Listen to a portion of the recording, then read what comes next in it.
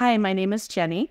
I work at the Forum Event Center, and we have about 30 to 40 employees total. Um, and I give Tripleseat to a five out of five.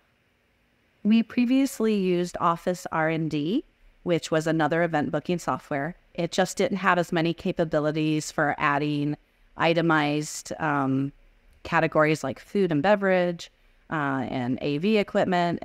Um, it really just made it difficult for reporting, and that's why we needed to switch. Uh, we chose Tripleseat because it offered a variety of um, customized fields that we could create for all of our events, which then translated into itemized reporting, which really helped us on the accounting end um, with understanding where we were profitable and where we needed to improve our performance and service. Starting Tripleseat was a bit of a task. We had to manually enter all of our contacts from our old system into Tripleseat.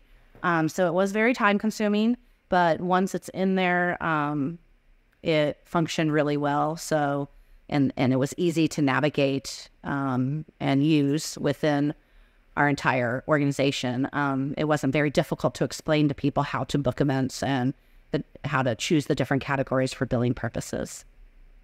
If you're thinking about starting up with Tripleseat, I would make sure that you have your database easily accessible in a spreadsheet already.